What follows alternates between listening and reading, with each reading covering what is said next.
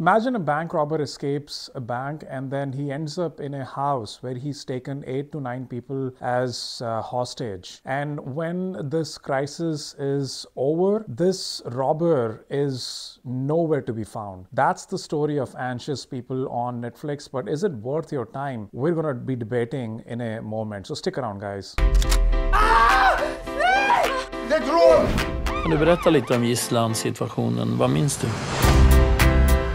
All right, so Anxious People came out in 2021. It's available on Netflix with six episodes. It's a Scandinavian Swedish show. The director of uh, this uh, TV series is uh, Felix Herngren, and uh, the lead actor here is Alfred Svensson. He goes by the name of Jack in the movie. So, Jack is a cop in the show. He works along with his father, who is also a cop, and they live together in uh, suburbs of um, Sweden. And uh, there is an opening scene in this show where a kid is running on the bridge, and there is a man who's well dressed in a suit, and he has a backpack with him, and he's putting stones uh, in the backpack. And this kid is curious. He wants to ask this guy, you know, what really is going on. And uh, this guy hands him a uh, envelope, and he says, you should go and give this to a bank manager. And um, the kid uh, realizes that this guy is going to jump off uh, the bridge. So he says he'll do it if um, this guy doesn't jump off the cliff. But that doesn't happen. And this person jumps off the cliff and he commits suicide. Fast forward, you're going to see this guy, as I said, Jack, he's turned into a cop. He's exercising, he's running on the bridge. And that moment is always there in his mind. He's always thinking, you know, as to what really happened, that he couldn't stop this guy from uh, committing suicide. Now, back to the story of uh, anxious people. You know, in the introduction, I said that there was a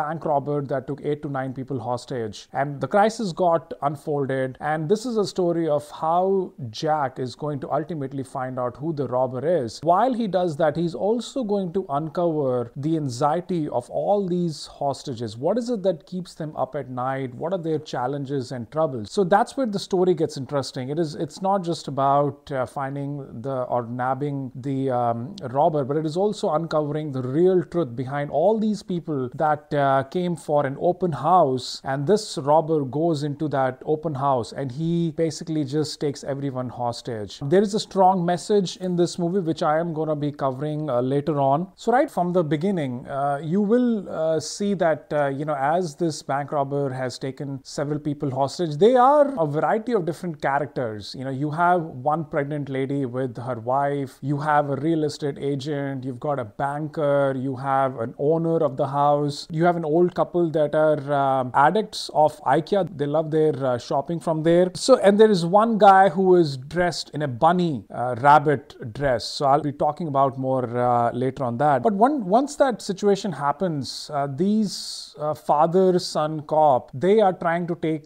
control of the situation but because they don't have experience in that they end up calling a swat team from uh, stockholm and ultimately the crisis is over all the people are freed. But before all that happens there is a series of events that happens and it's very interesting. You know so for example there is one gunshot happens uh, during this hostage crisis. Second um, at some point the hostages they ask for pizza. Now who would ever think that uh, someone who has um, uh, kept all these people as hostage are going, going to order a pizza? But that happens. Fireworks happen. So anxious people as much as it feels like it's a serious uh, show it's not really a, a, serious show. You know i also thought that uh, you know this could be something um, you know different. Uh, i watched the trailer. But anxious people is really a comedy drama. And um, you know at every uh, step of the way in every episode there is something that they're trying to uncover. So the, the first uh, episode is all about this uh, drama that unfolded about the crisis situation. And the and the next five episodes is all about how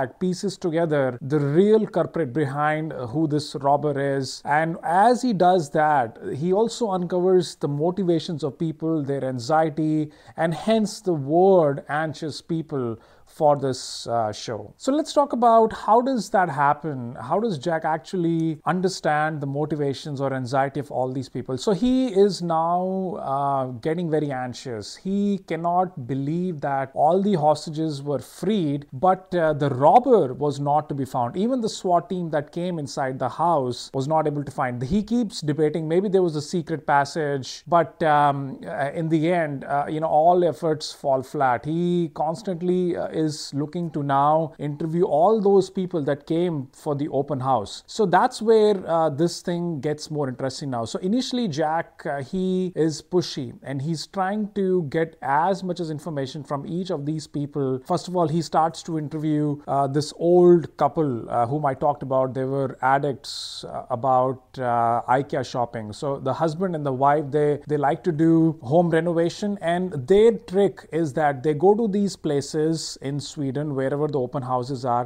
Their plan is that they tell everyone that, hey, this house has mold, no one should live here, and ultimately everyone leaves so that they can buy the house at a cheaper price, they can remodel and flip it. So that is their model. That's why they were there at the open house. But uh, as Jack is talking to the old lady, the old lady, um, because he's pushy, she almost breaks down. She says that she does all these things because of her husband. Husband took care of all the kids when um, they were born, and she was going out for working. But now, when the kids are gone, now she wants to help her husband, you know, get his esteem high and being able to cajole himself that yes, he can also do something substantial for the family. And the husband hears these conversations, so you know he he feels that my wife um, uh, wasn't uh, truthful to me. She's only joining me because she wants me to have that my self-esteem high, and that's where he withdraws. So you see that uh, you know anxiety coming in between this couple, and you know why they go to shopping and why they're flipping houses and, and so on. So that's that's one element of this couple. The second uh, is about the pregnant lady. I talked about this. So the pregnant lady is anxious that her wife is going to leave her because she starts to get uh, some kind of um, vibes from her wife. Her wife, uh, you know, when she comes, she says, This house is probably not for us. It's a gut feeling. So that is another uh, anxiety that this person has in their relationship. There is a real estate agent. When Jack tries to interview her, she narrates that she doesn't have good selling skills and her company is going to go bankrupt. She probably will get fired. So she's always anxious about, you know, how is it she's going to pay the bills. So that is that's another anxiety in this particular person. In the very beginning, I said that this uh, person who committed suicide, who jumped off the bridge, he hands over a uh, letter to the boy who's Jack, and and Jack gives the letter to this banker, and the banker always keeps thinking that it is because of her that this person uh, committed suicide because it was 2008, it was financial crisis. She didn't, she couldn't give loan to people. Uh, but as she's doing more research, she figures out this open house is where this man used to live who committed suicide. So she's always anxious. She's she just wants to go to the house just to check out how her family is doing, uh, if they if that guy has any kids and so on. So that is that anxiety that's always brewing inside her. And then Jack also has his own anxiety along with uh, his dad, and that is because he has a sister who is a drug addict. And every time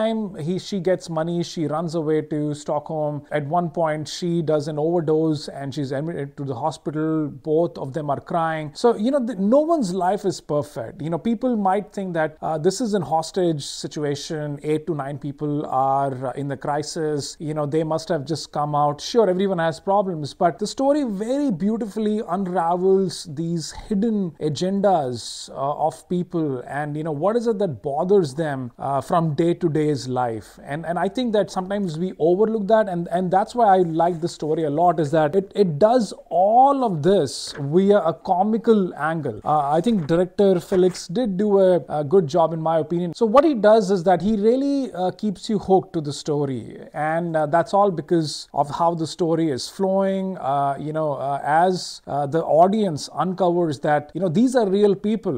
You know they go to an open house whether it's the robber whether it is someone else everyone has some kind of challenges or anxiety that's happening. I do want to mention this to you that at the end jack is able to find uh, the robber.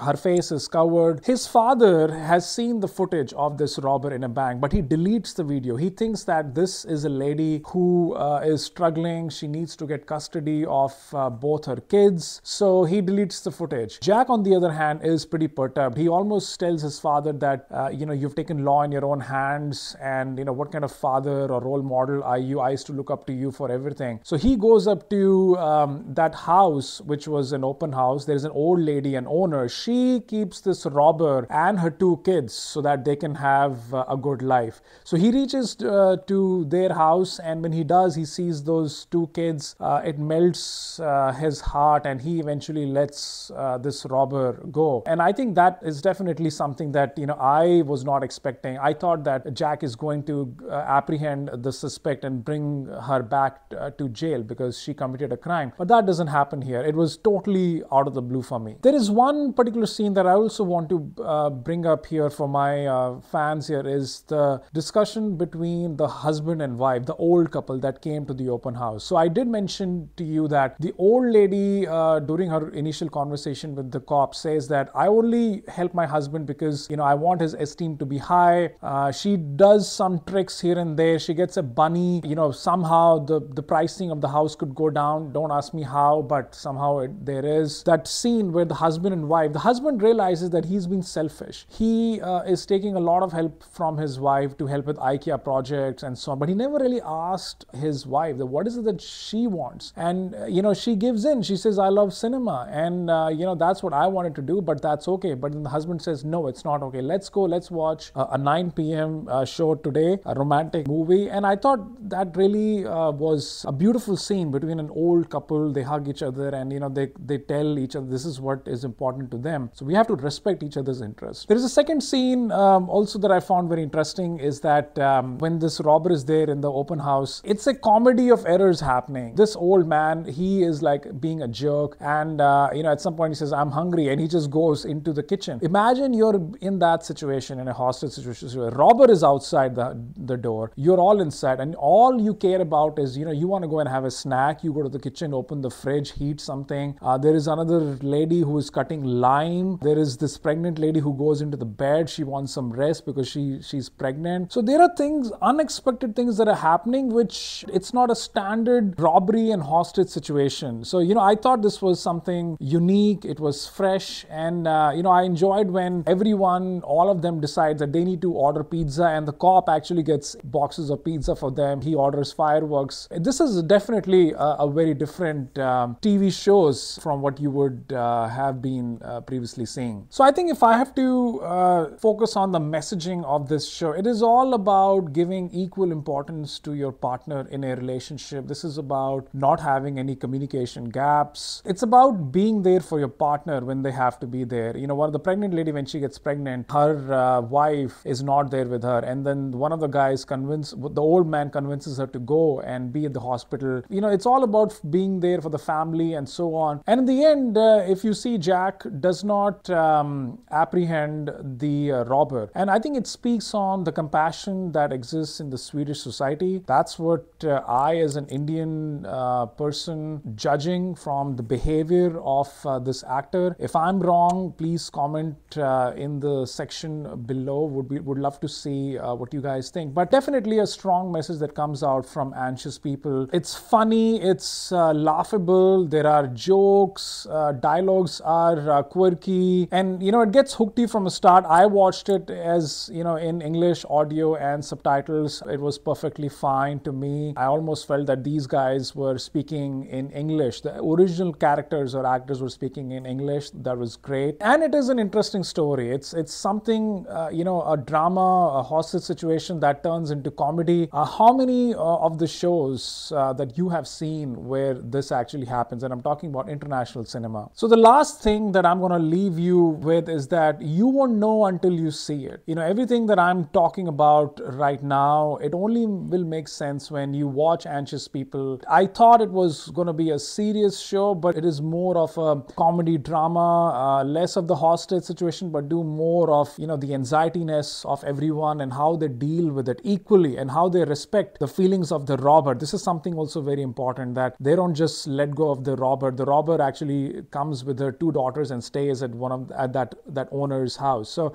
there's a lot of compassion in the society. It is different from the other stories that I have seen, and I thought I totally love this show. So guys, I'm gonna give it eight out of ten. And if you guys like this video, if you want to subscribe, you want to comment, you can please do so. But I'll see you uh, for the next time. Take care. Bye bye.